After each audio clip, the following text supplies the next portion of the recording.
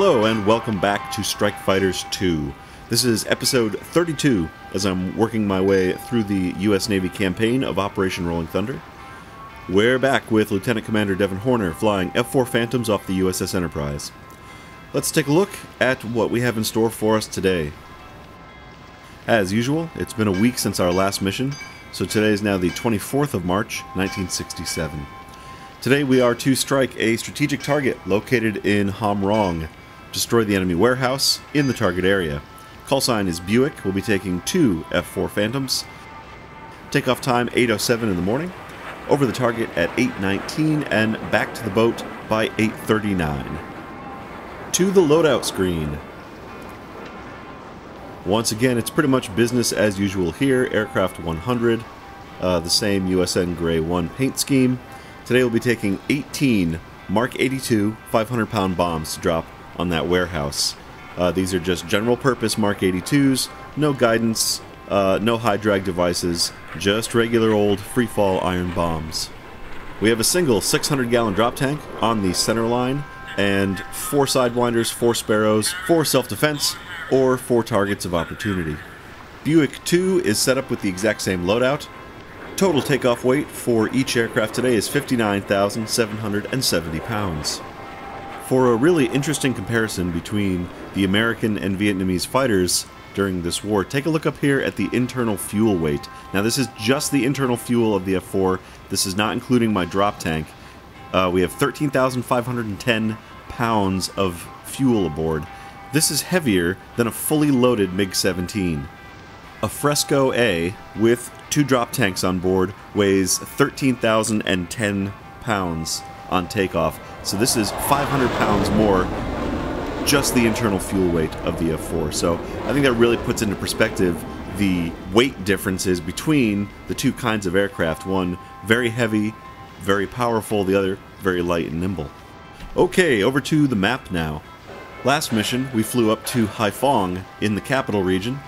This time, not going so far, about halfway down between Haiphong and the K-Fat region that we were flying into a couple missions ago.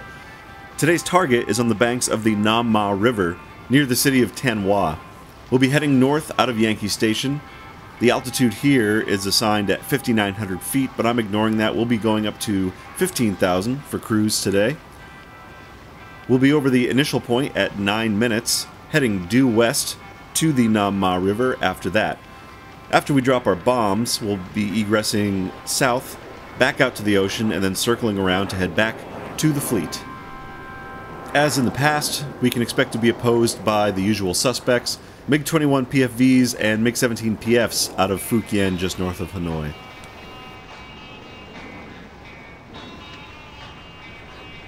And finally, the roster for today pretty simple with only two Phantoms going. I'm in Buick 1, 52 missions, 20 air to air kills now. My wingman will be Ensign Ray Voden in Buick 2. He's flown 9 combat missions, has 3 air to air kills, and 3 air to grounds.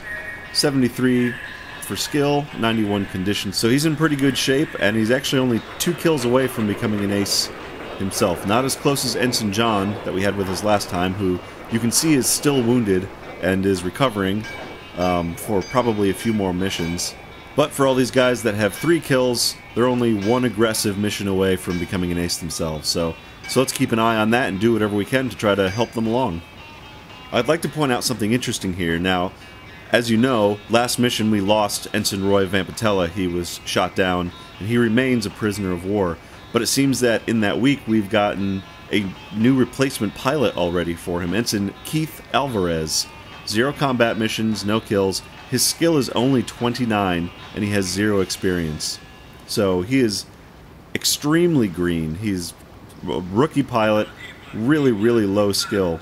I think this is a great opportunity to keep our eyes on how the mechanics of the pilots work in this game. So here we've got a guy who has really low skill, zero experience.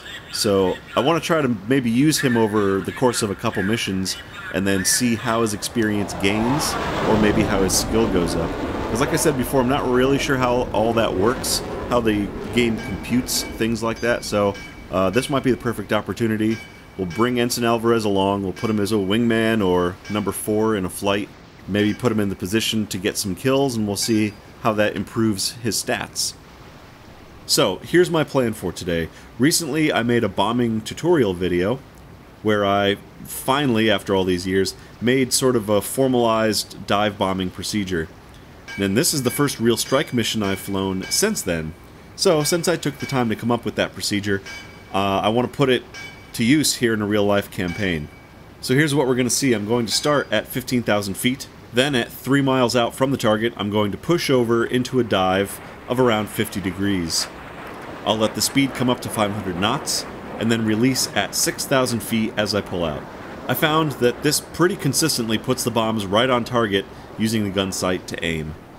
Now, someone pointed out something that I forgot to mention in that other video. My personal method is that I release and then start to pull out of the dive while the bombs are still dropping. This causes the first few to land in a cluster, but the last ones will walk out from that first impact through the target. The reason I do this is so that I still have a chance to hit the target in case I messed up and the bombs fall short. If you want all of your bombs to land together on target, you need to wait to pull out until they're all off the racks. If that's what you want, then you would want to set your release interval to whatever the minimum is for the aircraft. You would pull out later and maybe even start releasing at a higher altitude. So that's just some food for thought. Depending on you know what kind of effect you want on target. As I've said before, bombing is more of an art than a science. Uh, you know during this time period and especially in this game. So something to consider as you find whatever works best for you. All right, that concludes this morning's briefing. That's going to wrap it up. Pretty simple looking mission. We'll have to get out there and see if it actually turns out to be as easy as it looks. We'll see you up on deck. Here we are up on deck of the mobile Chernobyl, locked into Catapult 1. We've got some solid overcast up there, but we'll be still using the Case 1 departure. Quick review, that's daytime, visibility greater than 5 nautical miles, ceiling greater than 3,000 feet. Salute down to the shooting officer.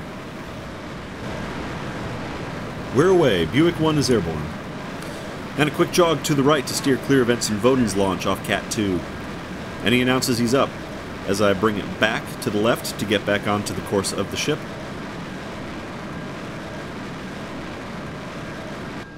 We're going to stay low as we speed away from the ship, leveling off at 500 feet, while I set up my radar and bombs. I'm setting radar range at 50 miles and turning my ECM on. More on that in a few minutes. I'm setting max release quantity with the bombs and also setting the release interval time at 100 milliseconds. There we can see Ensign Voden behind me catching up to slide into formation. So we're on course, and for now we're just going to continue climbing up to altitude, and while we're doing that, I'm going to talk about something that I've been looking forward to doing a little research report on for a long time. Today, I'm going to talk about electronic countermeasures. It's a very complex subject, and I'm certainly not going to cover every detail. But if you're interested in making a deep dive on information, you'll find the sources that I used for today listed in the description below. ECM was almost non existent at the start of the Vietnam War, then went through a very long evolution before arriving at the ECM that we know today. When I was a kid in the 90s, playing Microprose F 19 Stealth Fighter, my dad explained to me that ECM was for breaking missile locks and that I shouldn't leave it on all the time because it would broadcast my position. This was my only understanding of ECM for a long time, and it was reinforced in every modern air combat game that I would play over the years. But more recently, I began to run into anomalies that seemed to contradict this. Rereading Flight of the Intruder a few years ago, I noticed that author Stephen Coonts describes the ECM on the A6 specifically being on 100 miles out from Vietnam.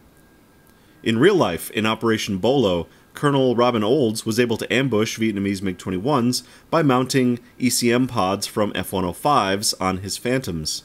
The ruse worked because the North Vietnamese routinely identified and tracked F 105 squadrons from their ECM signatures. Now, this would have to mean that the ECM was switched on for extended periods, apparently the entire time over enemy territory. Clearly, something wasn't adding up, and my understanding of ECM was not complete. Since starting this series, I've had some viewers expressing concern over how I keep my ECM on throughout the entire mission here in the game. So, this is a perfect opportunity to review the early history of airborne electronics countermeasures, and why I run my missions with it constantly on. To begin with, there are two basic classes of ECM systems noise and deception. Modern ECMs are typically noise jamming types. There are several subtypes within this class, but generally, they operate by actively transmitting white noise in an attempt to confuse radars and break missile locks.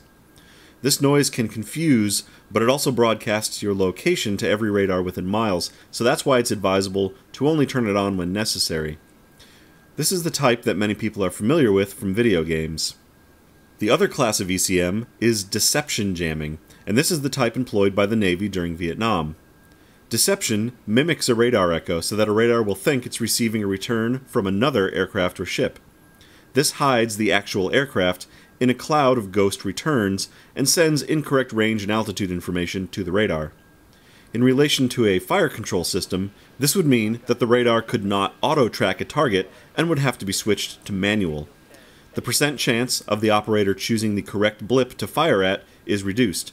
And even if he can tell which is the real aircraft, manual is never as smooth as automatic tracking, and the weapon is more likely to miss the target.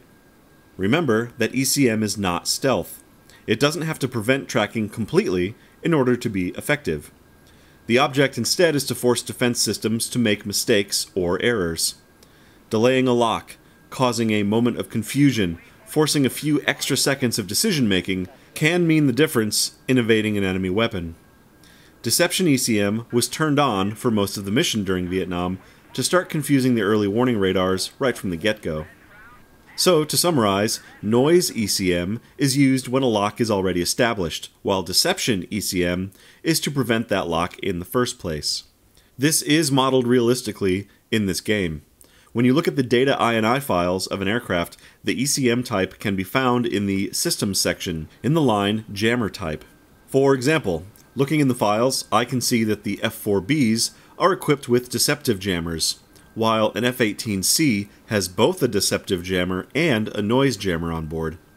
Knowing what you have installed on board is important for knowing when and how to use your ECM systems. The two types do such a different job, and the game knows the difference between them, so incorrect use can negate the system's usefulness altogether. That's why I turn my ECM on for the duration of the mission, because so far we've only been equipped with deception jammers.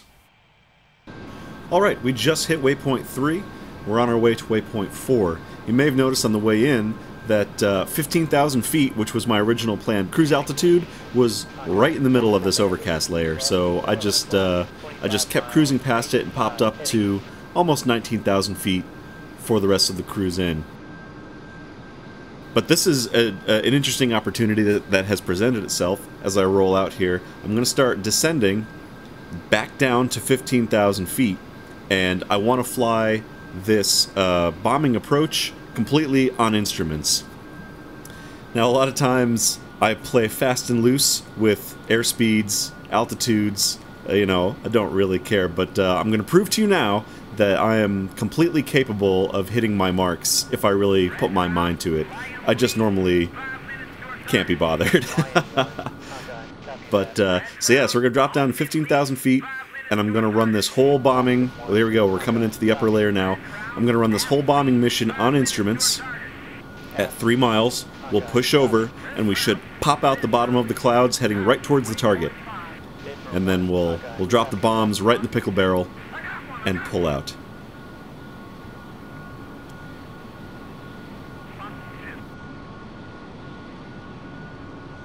So now we're at 16,500 feet, descending for 15,000. We're at 400 knots. Level right at uh, 300, on course towards waypoint 4, which is our initial point. You can see it there on the map.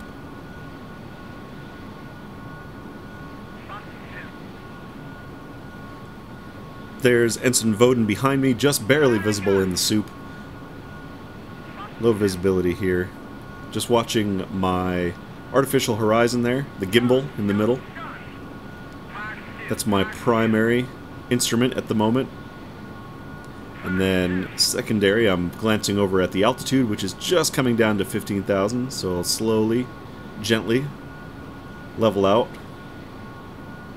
Watching the altimeter primarily to see that the needle's not moving and that I'm level.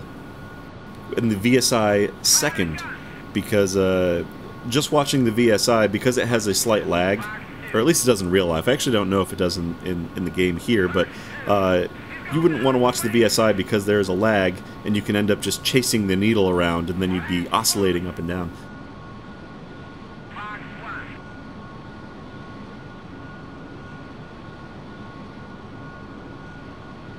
Alright, there's waypoint 4, so now we're going to make a turn to the left, keeping it to a modest 30 degrees of bank. I've selected the 500 pound bombs, they're ready to go. Watching the altimeter as we go through this turn. Keeping an eye on the ball, the turn is centered. Come back to 30 degrees. And watching the HSI as the needle comes around. There we go, we're on target. We'll roll out. Right on 15,000 still. We're 13 miles out from the target. 400 knots still. Things are looking good. Voden's still with me.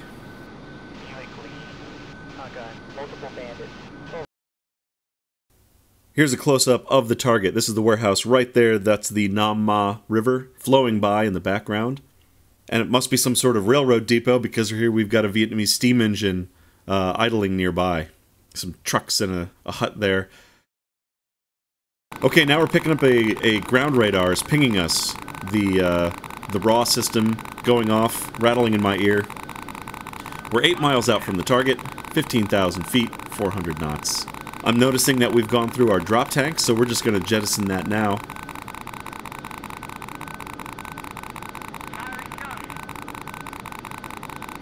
We're right on target here, 6 miles. Alright, as we come up on three miles, I'm going to give the order to Ensign Voden to attack my target, and then I'm going to push over myself.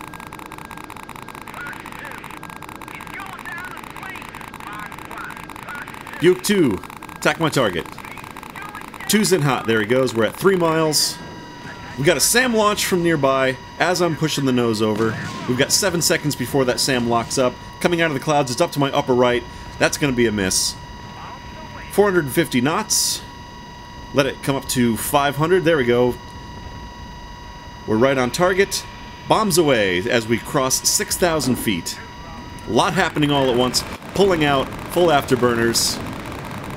Voden's bombs are hitting, my bombs are hitting. Took, one of us took out that bridge. The whole bridge is gone. And we are out of the area. Bingo, bango, bongo. We wrecked the shit out of that warehouse both Voden and I. That's great, so now we're going to come around.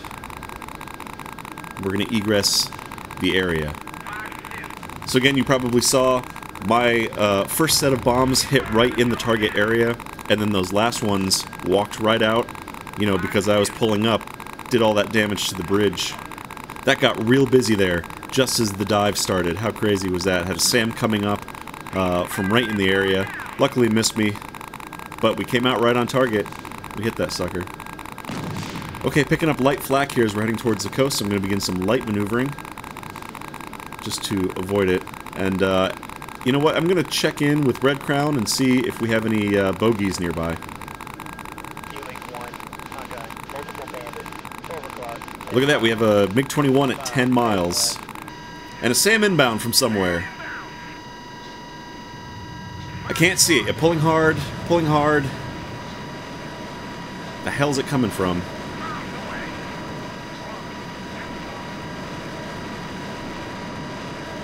There it is. Okay, we're good. Whew. No problems there. We were able to, to dodge that. That came from the, the direction of the city. Somewhere over there. And now uh, we're picking up the radar again. Uh, Buick 2 is not with me. He's out dropping bombs on something. So he must have not dropped all the bombs on the target and then as he's getting painted by radars, he's deciding to go off and, and attack them on his own.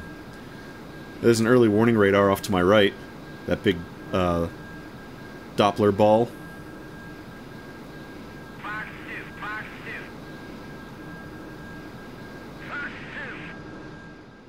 There's Buick 2, he's dropping more bombs on more targets.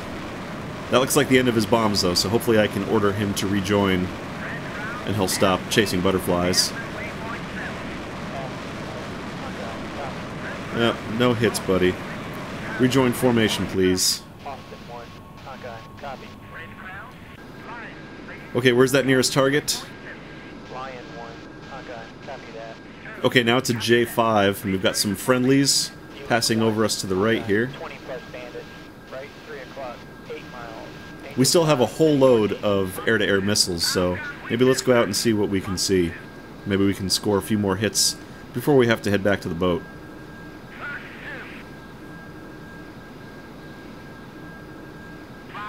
Radar's lit up like a Christmas tree in front of me here.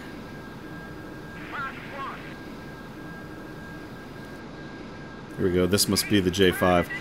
Yep. J5 in the uh, in the snake paint scheme. I've got a Sparrow selected. He's well within range. Actually, he's he's actually too close. We've come in too close to him. We've got the brake light and the X on the radar.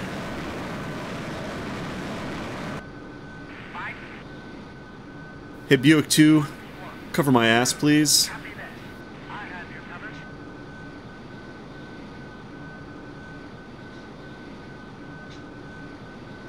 Uh, I've lost this J5 for the moment. I'm not sure where he went. Let's let's maneuver around, try to uh, try to re-find him. We'll go up into a kind of a vertical yo-yo here, and we'll roll back down and there he is. Perfect. Alright, I'm going to set to boresight mode. We've locked onto him. Fox 1. Sparrow did not track. We've got a closing rate with the range rate circle at 150 knots, so I'm going to Fox 1 for a second time. That one's tracking. We're good to go on that. And let's follow the missile in. Something... Oh my god, that's a friendly. Holy sh... Oh, man. I almost shot down an F-8 Crusader. Holy hell. Wow. Okay, so... Um, I did not realize that there was two aircraft there, and I fired without confirming what my target was and uh, I almost shot down an F8 Crusader who was following right behind that J5. Luckily, he had some sort of chaff dispenser. Did you see that? He was pumping out chaff, which for this time, that's rare. Not all of the aircraft have been, you know, outfitted with chaff dispensers yet. We certainly don't have one. We have built-in ECM, but that's about it. Wow. I feel really shitty Missile zooming by me off to the left. Jesus.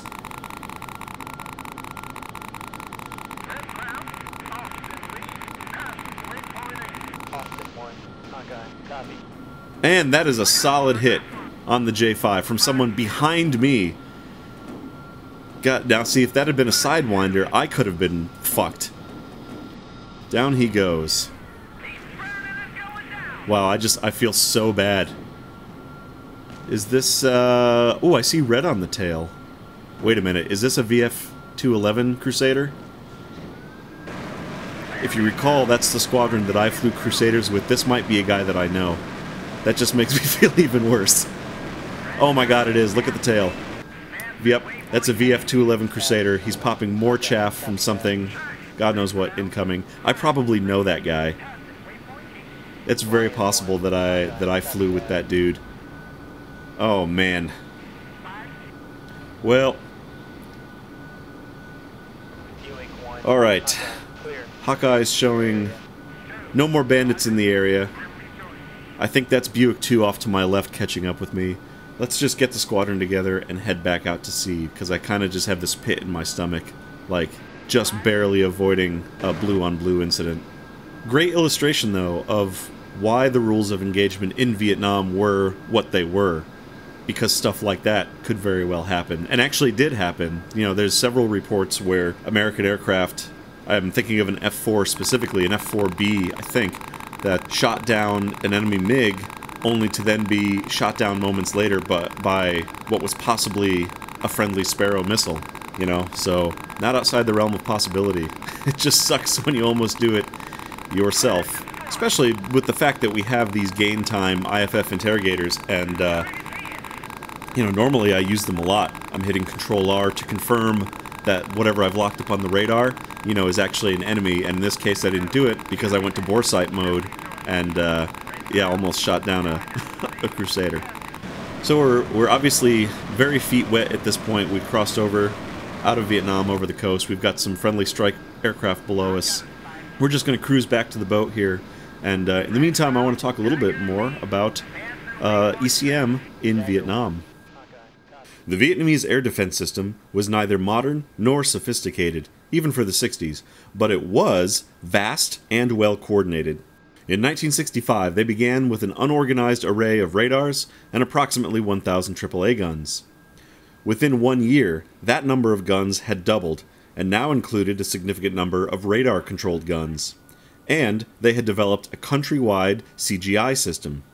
CGI stands for Controller Guided Intercept, and this was the air defense system preferred by the Soviets and all of the states within its sphere of influence. Early warning radars, often P 35 Barlocks, would detect and track American aircraft coming into the country. Ground controllers vectored fighters into position to intercept, or the targets were handed off to individual SAM sites and their fan song targeting radars. The radar controlled AAA guns were fully coordinated with SAMs and interceptors to improve their effectiveness.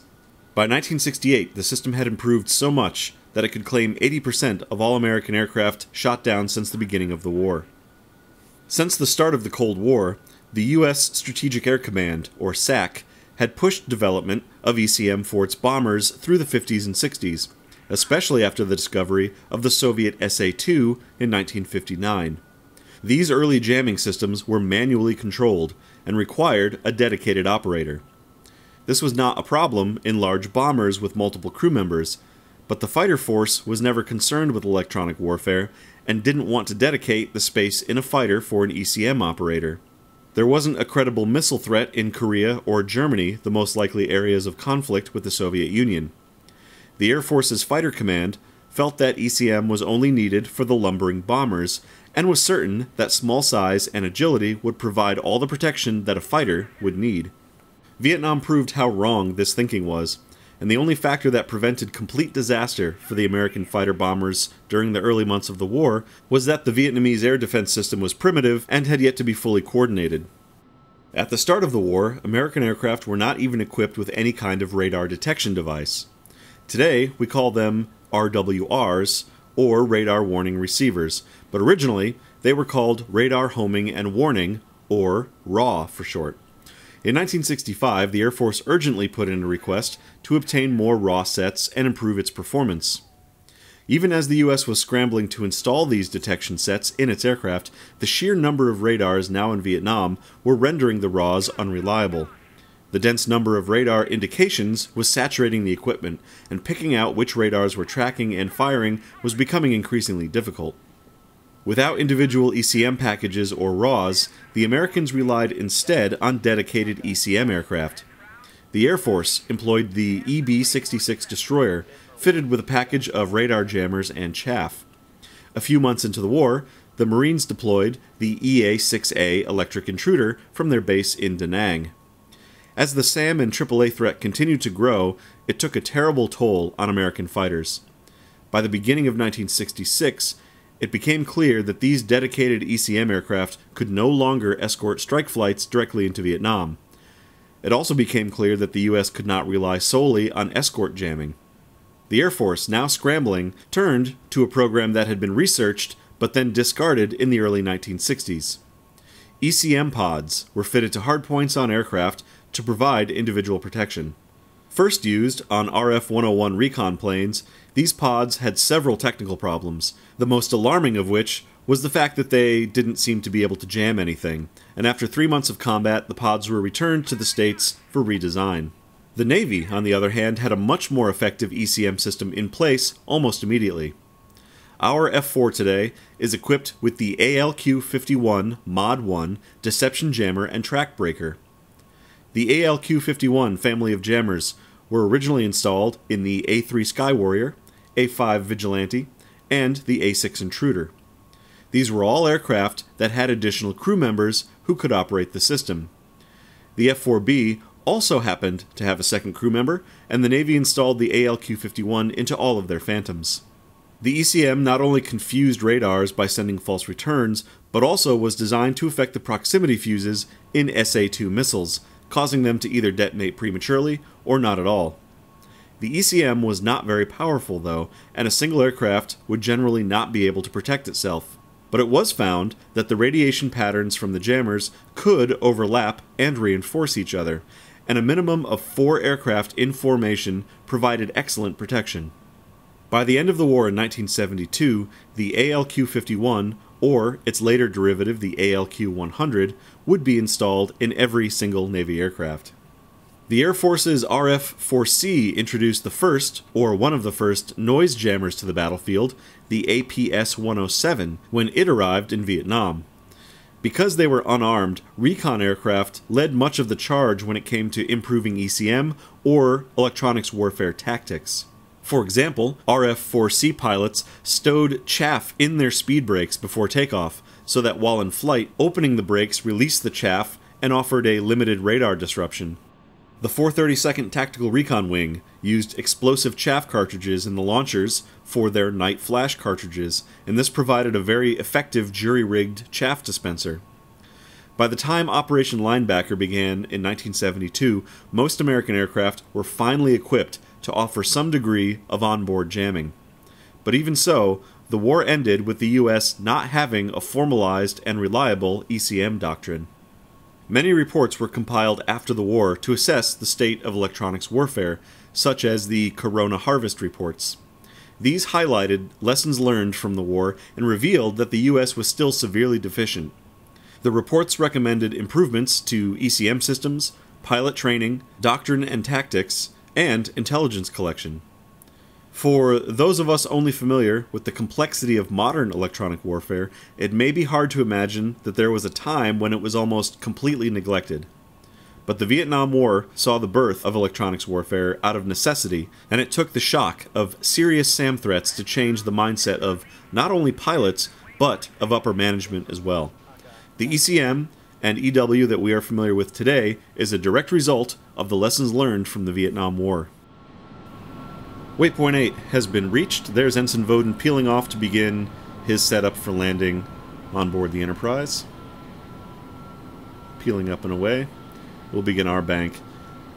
Again, it's uh, overcast day, but the visibility is still great down low, so we'll be doing our usual uh, Case 1 VFR approach and landing, slightly modified for the time period.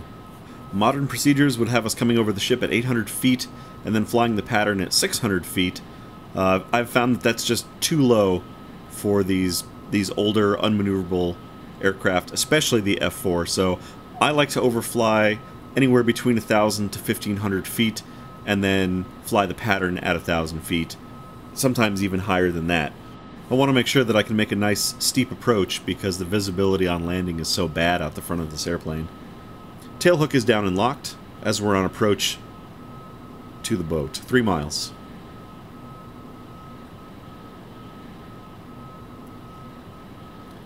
We're going to jog slightly over to the right here because I don't want to go right over the ship. I want to pass over the starboard side. And there she is, just appearing just to the right of the gun sight there. Alright, so that's our last waypoint. So now the carrier ILS system is operational, so our, our needles on the gyro are operating correctly if we wanted to use them. We're just a touch over 500 knots as I'm coming parallel to the ship, 1500 feet. Now my approach and landing was pretty sloppy in the last mission, so I'm going to try to uh, improve my form slightly this time around. You're only as good as your last landing. My last one was pretty bad. Functional, but bad.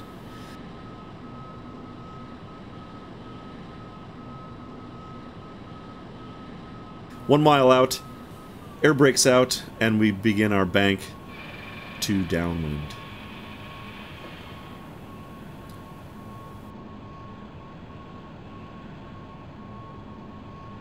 Looking for 250 knots to drop the Tootsies. There, we're passing 300.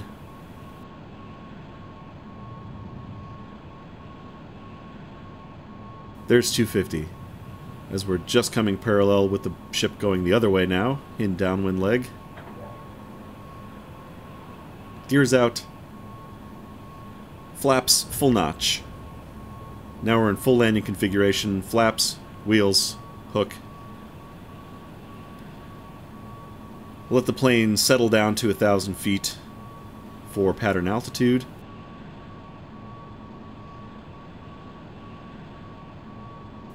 And we're just coming abeam of the landing area. Just about there. That's where we want to begin our turn.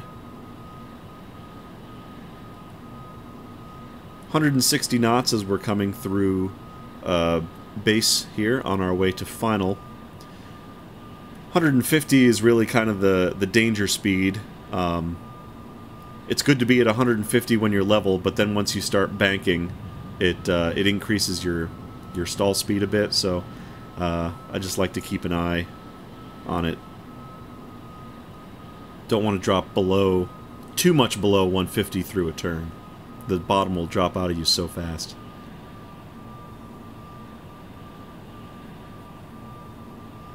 There we go. You can hear me playing with power just a little bit as we're coming around. Much better altitude this time.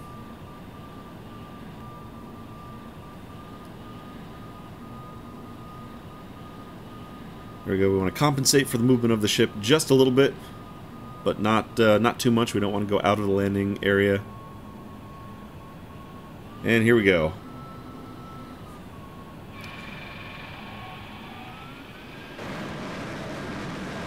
Solid trap.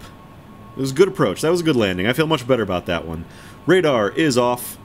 We'll fold up this aircraft. Wings are coming up, and then we'll taxi clear of the landing area. You can see there's aircraft coming in behind us, so we need to make way for them.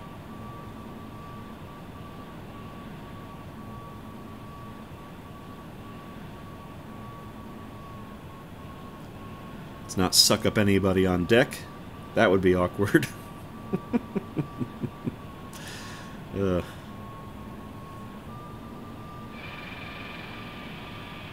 And the canopy's coming open. And we'll just, uh, we'll just pork it right here. That's good enough. Alright, uh, successful mission. A little bit of a gut punch there as we almost had a blue on blue. Just kind of luck that we were able to avoid shooting down one of our one of our own people. Uh, not only our own people, but probably a pilot that I know personally from my time in, in that particular squadron. So uh, we'll see you down in the debriefing room, and we'll go step by step through this mission. So we'll see you down there.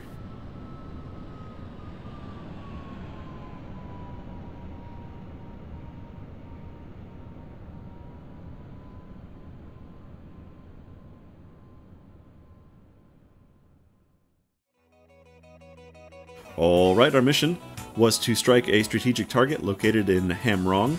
We were to destroy the enemy warehouse in the target area. Our flight time was 33 minutes and 50 seconds. The result was the primary target was destroyed for a success and a score of 750. Here's our stats. I dropped 18 of the 500 pound dumb bombs for 16 hits uh, and 5 kills. Uh, we, we hit a lot of targets. Only only two bombs uh, out of all of those didn't hit something, um, and then we did enough damage to to kill five five things, including that bridge. I'm pretty sure.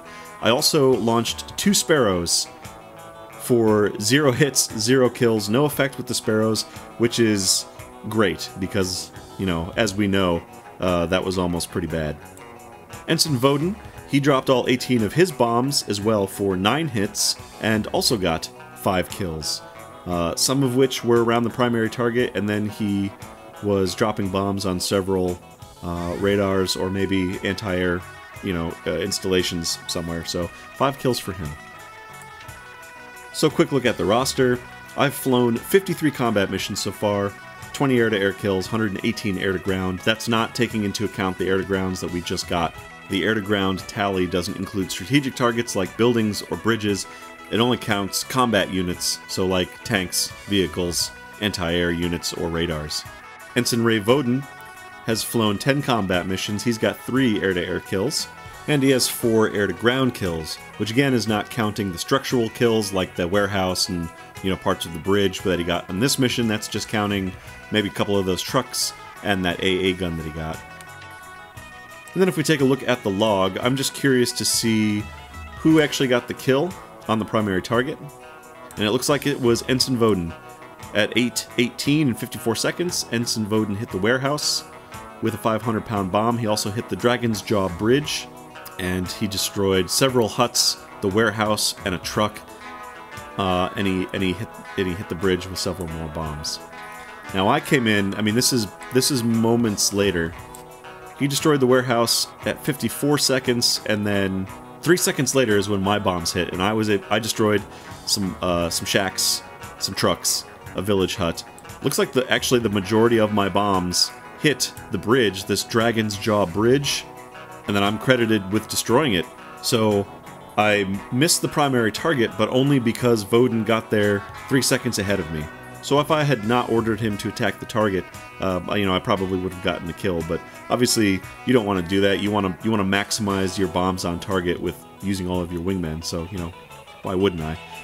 Now here's the thing. Here's this SA2 Sam firing a guideline at me,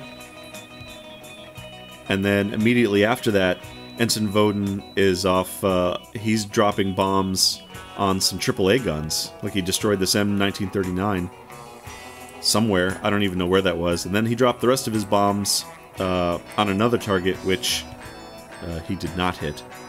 He had a SAM launched at him at 823, and then you can see here the fateful uh, the fateful moment at 823. I fired two Sparrows at an F8 Crusader, the 1966 upgrade, which is very lucky for him because his RHAW equipment should have been screaming in his ear that he had a missile incoming, and he didn't maneuver, but he did drop chaff, which would not have been, you know, possible if he was in the 1965 variant. Very lucky that he had some chaff dispensers, and he used them to good effect, because I almost shot his ass down. We had some additional AAA fire at Voden, and then we were out to sea, and so, so that's the end of our log. Alright, well, that wraps up that mission. Not a whole lot of action this time, other than some than a very brief flurry of crazy activity uh, around the target, and then you know almost an incident, which luckily was was avoided. But we got to talk about some some exciting stuff in the report, which, like I said, I've been looking forward to talking about for a long time. So thanks for joining me, and hopefully we'll see you next time as I continue to fly and fight over Vietnam. We'll see you then.